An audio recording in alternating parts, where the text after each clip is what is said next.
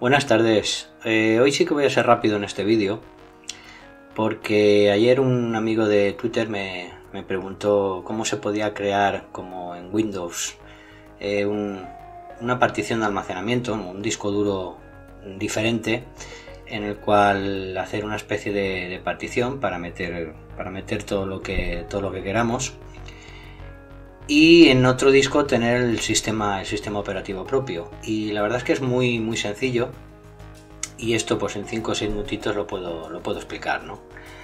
Eh, bueno, vamos a ver si minimizamos como siempre el simple screen recorder.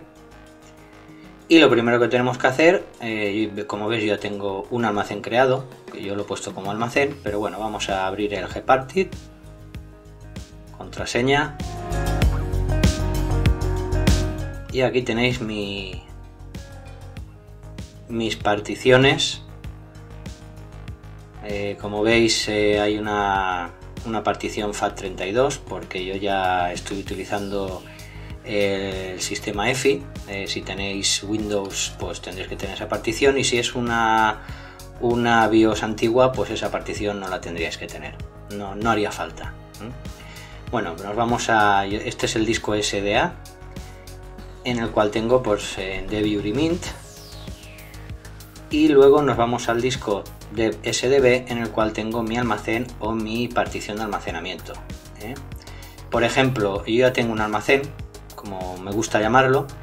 Si fuera un disco nuevo, recién comprado, el cual habéis metido puesto en el ordenador ya, lo primero que os pediría es crear una tabla de particiones. La tabla de particiones o bien puede ser MasterBot Record, que es la MBR, que es la que sirve para la antigua BIOS, o la GPT, que es las nuevas, están implementadas para los modernos sistemas EFI. Pero bueno, os dejaré un enlace de, bajo en el vídeo en el cual veis las diferencias, ¿no? qué, clase de tabla de particiones queréis. Eh, vamos a crear una nueva, una nueva partición ahora. Aquí, como veis, podéis poner el tamaño que queráis y en el sistema de archivos eh, pues mm, si tenéis un dual bot con Windows pues tenéis que poner sistema de archivos NTFS en el cual es un sistema de archivos que sirve tanto para Windows como para Linux para ir poniendo pues eh, tenerlo como almacén para los dos sistemas operativos. Yo como únicamente tengo sistemas Linux pues voy a cambiar a X4 que es eh, un sistema de archivos exclusivo para Linux y mm, algo más rápido que el NTFS.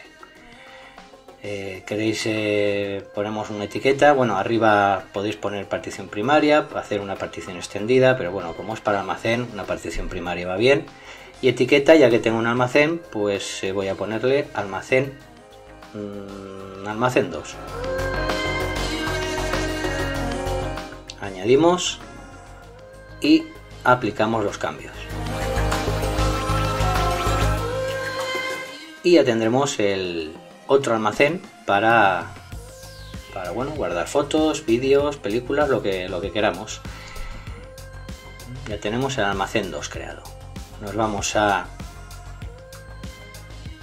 sistema de archivos y veis como aquí, eh, por ejemplo aquí estoy en Linux Mint, tengo Nemo, ya me aparece el almacén 2.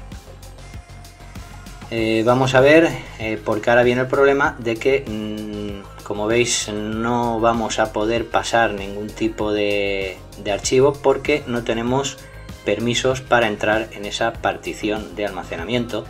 Veis cómo pone error al copiar captura de pantalla, etcétera. Esto es muy sencillo con, con un comando, terminal, en el cual le vamos a dar permisos a esta partición, a este almacén para poder eh, meter datos y meter lo que, lo que queramos. Es tan fácil como abrir una terminal. Vamos a limpiarla con clear. si no veo demasiado. Y aquí, eh, permiso de administrador, eh, sudo chown, comando chown menos R, que es recursivo, en el cual le das permisos a tanto archivos, carpetas, etcétera usuario, nuestro usuario y la ruta en el cual queremos dar los permisos, que en este caso es media Juanjo, que soy el usuario almacén, barra baja 2. Te pedirá la contraseña, ponemos la contraseña